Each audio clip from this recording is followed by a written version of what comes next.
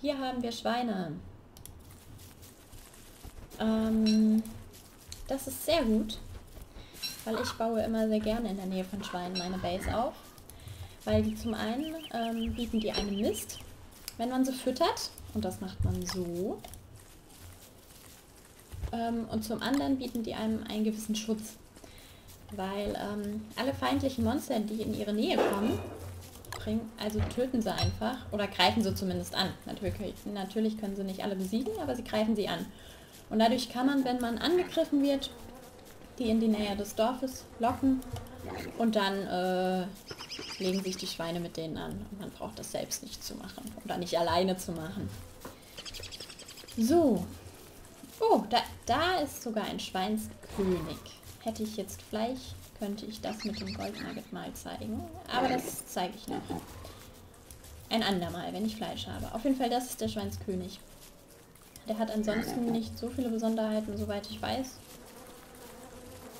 Ähm, so, da haben wir jetzt auch schon den Mist, von dem ich gesprochen habe. Weil wenn die nämlich von dem Zeug fressen, dass man ihnen hinlegt, dann kacken sie einem dahin. Und das braucht man dann, um zum Beispiel Felder zu bauen. Ich würde sagen, ich baue hier hin. Der Platz bietet sich ganz gut an.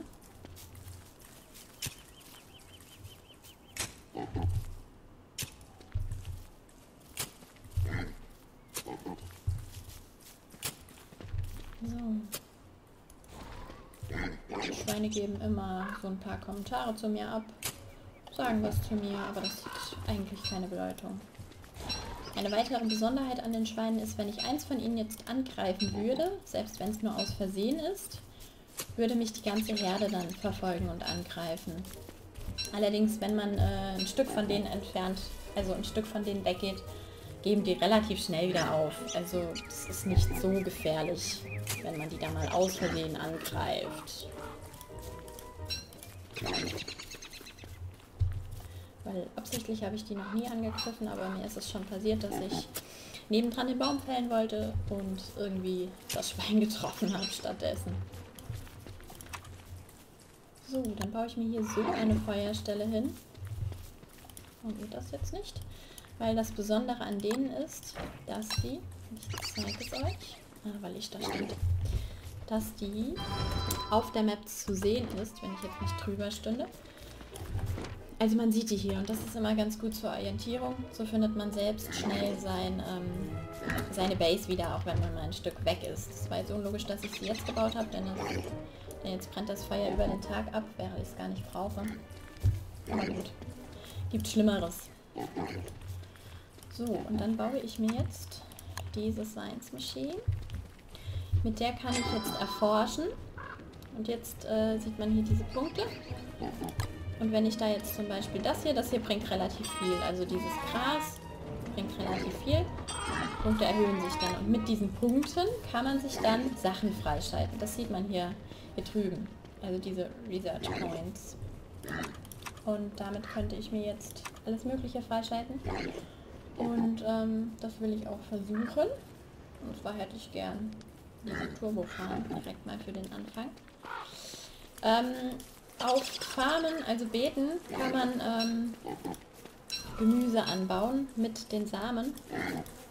Und da gibt es halt unterschiedliche und je nachdem welches ist, wachsen die Sachen unterschiedlich schnell. Und ich hätte natürlich gern die schnelle, weil dann habe ich möglichst schnell Nachschub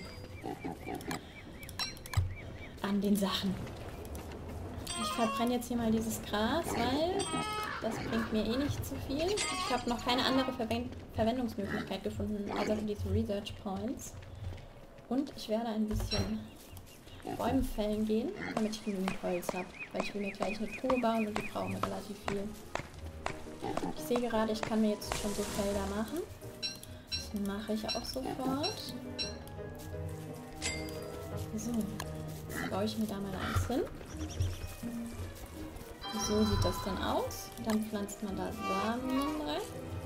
So. Und da sieht man jetzt schon ganz klein den Setzling und daraus wird dann später eine richtige Pflanze. Und da wächst dann Gemüse drauf. Teilweise Möhren, teilweise aber auch Gemüse, das man so nicht in der Welt findet. So, jetzt wollte ich mir außerdem noch Bretter machen, denn aus Brettern kann man Truhen machen. Und einen Baum sollte ich mir noch fällen. Damit ich genügend Holz habe.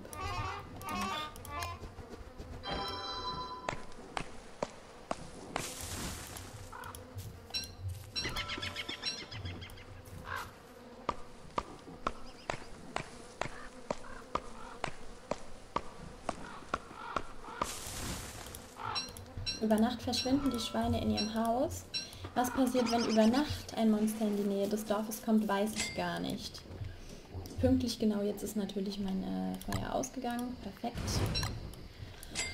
Ähm, Habe ich noch nicht ausprobiert. Vielleicht äh, finden wir das ja irgendwann mal zusammen heraus. So, jetzt mache ich mir auf jeden Fall noch so ein paar Punkte. Dann schauen wir gleich mal, was wir noch so entdecken können. Denn desto mehr, desto besser.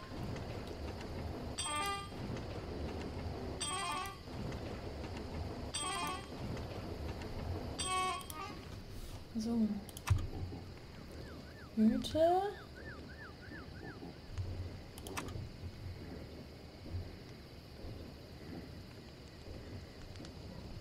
Mhm. Oh. Ich glaube, das ist das. Ähm, das ist, es gibt so ein Amulett, mit dem kann man sich ähm, wiederbeleben, falls man stirbt. Was den Vorteil hat, dass alles, was man gebaut hat, nicht verschwunden ist. Weil normal ist es ja so, dass äh, jeglicher Fortschritt auf der Karte einfach verschwindet. Und ich glaube, wo war es? Ja, zum Beispiel hin. Ich glaube, das ist dieses Amulett. Aber ich bin mir nicht sicher und ich weiß auch gar nicht, wo man ein Red Gem herbekommt. Hm. Was brauchen wir hierfür? Stein und Holz. Okay. Stein könnten wir zumindest schon mal herstellen. Das hier ist eine Alchemie-Engine. Ähm, mit der kann man dann auch noch mehr Sachen erforschen. Ist also auch wichtig für den Fortschritt. Ich mache uns jetzt mal drei Steine. Vier braucht man aber. Also. Gut, also fehlen uns dann nur noch Bretter. Ach, eine Truhe wollte ich außerdem machen. So, das geht so. Und in eine Truhe kann man Sachen reinlagern. Da lagere ich jetzt mal alles rein, was ich aktuell noch nicht brauche. Das behalte ich mal hier. Oder was, ähm, ja, halt alles, was man nicht äh, immer in der Tasche braucht. Im Inventar braucht. Das behalte ich drin, weil das kann man ja relativ häufig brauchen, um sich Werkzeug nachzubauen. So, ich bin mir gerade noch, solange es noch an ist, Karottenbraten. Denn ich bin schon wieder ein bisschen hungrig. Ähm, ich will also auf jeden Fall noch einen Baum hacken, damit wir... Ähm, was wollte ich nochmal bauen?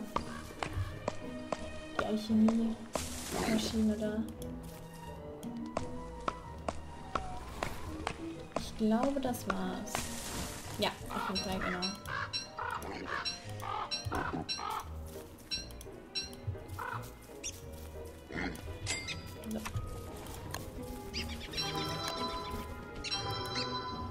Okay, fehlt uns noch ein bisschen Holz. Bretter herzustellen ist äh, ziemlich teuer, wie ihr merkt.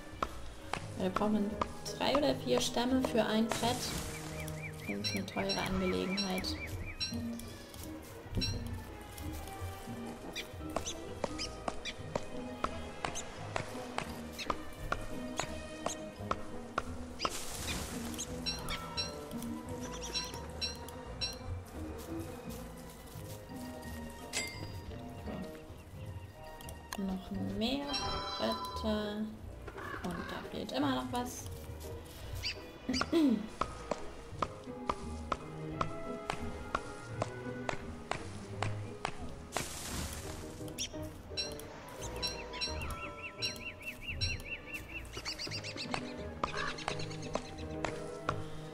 Mehr Holz.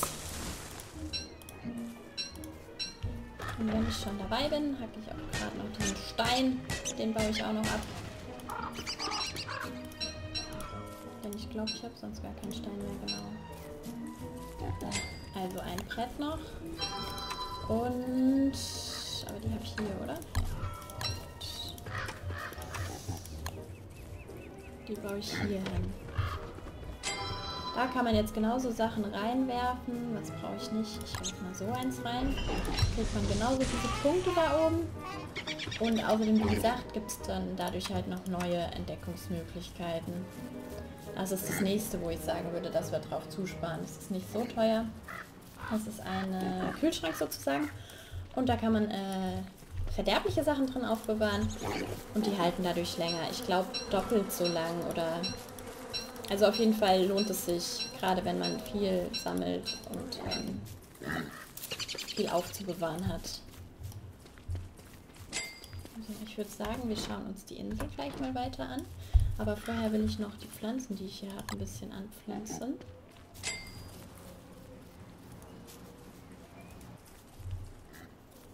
Damit die auch möglichst schnell wachsen und ich da was abbauen kann.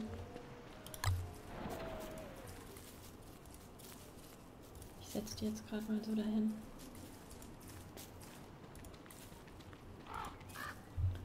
Und zwei Beerenbüsche habe ich noch. So. Mal sehen, wie lange das dauert, bis die nachwachsen. Das interessiert mich mal. Ähm, gut. Dann schaue ich mir mal die Insel weiter an. Ich gehe hier oben entlang. Man sieht jetzt schon hier, dass das wächst und da langsam was draus wird. Dauert aber noch ein bisschen, bis wir da das erste Gemüse ernten können.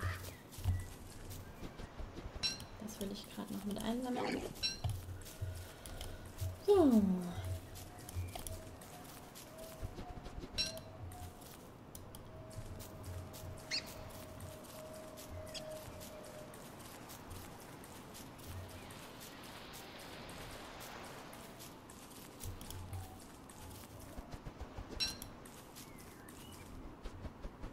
Hier haben wir ein Spinnennest. Und da ist direkt noch eins. Das sind kleine, es gibt auch noch größere. Die sehen dann ein bisschen aus, als würden die gestapelt werden. Bestimmt sehen wir sowas auch nochmal. Aber aktuell kann ich ganz gut drauf verzichten, denn wenn die da nachts alle rumkrabbeln, äh, die Spinnen, ist teilweise nicht so lustig. Blümchen sind gut, damit ich was für die Schweine zum Füttern habe. Wobei nichts passiert, wenn man die nicht füttert. Nur ähm, kriege ich dann auch keinen Mist mehr von denen. Was ich aber, wenn ich erstmal die Felder habe, nicht so häufig brauche eigentlich. Oh, ich muss darauf achten, man sieht jetzt, ähm, meine Beeren im Inventar werden schon gelb. Das heißt, sie vergammeln so langsam. Also muss ich mich darum kümmern, dass ich die länger haltbar mache. Beziehungsweise möglichst schnell verbrauche. Aber ich werde sie braten. Dadurch werden sie wieder ganz voll von der Haltbarkeit her. Und bringen außerdem auch mehr. So. Mal gerade noch einsammeln. So. Was fehlt uns denn jetzt noch hier für Stein und Gold auf jeden Fall? Gut. Dauert also noch ein bisschen. Holz muss ich da rein tun. So brate ich mir gerade mal die Beeren an.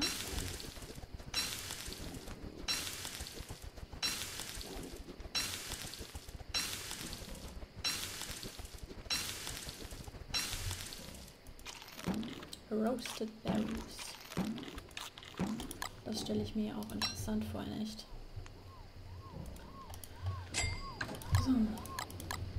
Ähm, hier sieht man, dass man Mist auch nur in 20er Stacks aufbewahren kann. Das lege ich mal noch da rein. Das braucht man ja nicht so häufig. Das werde ich den gleich hinlegen. So.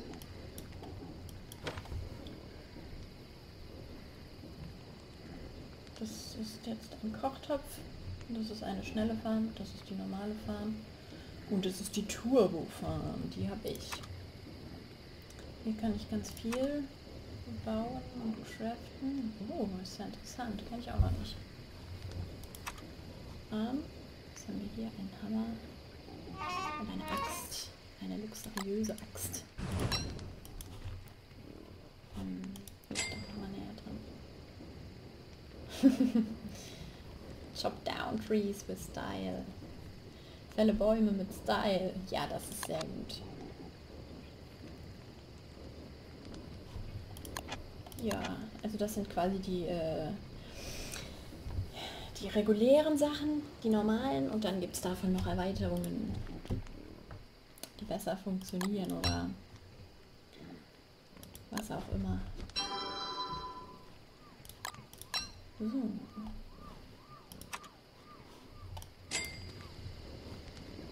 Was gibt es hier noch?